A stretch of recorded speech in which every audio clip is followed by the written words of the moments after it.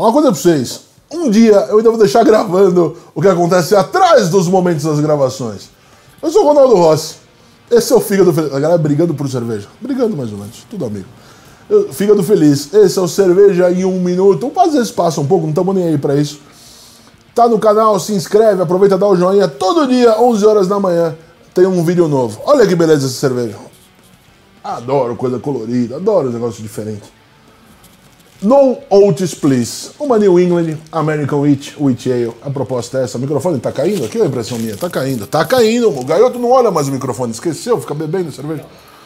Aquela viradinha, aquela viradinha. Agora vou até o final com o microfone caído. Se der errado, a gente faz de novo depois.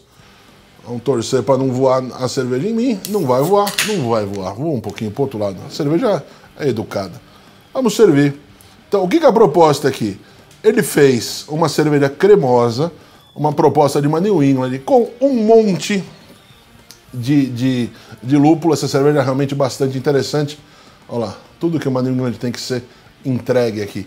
E você soma isso a característica do trigo, não da, não da aveia, por isso o nome No Oats. Eu já tomei, conheço, uma cerveja realmente muito bacana, muito cremosa. E vou deixar audiência brigando por cerveja com inveja. Já já a gente toma junto. Calma, vocês estão tensos. O garoto tá tenso, o garoto parece o Matheus. Agora, tá aqui os dois vendo quem vai tomar cerveja. Os caras são tudo gordo, gordo é tudo igual.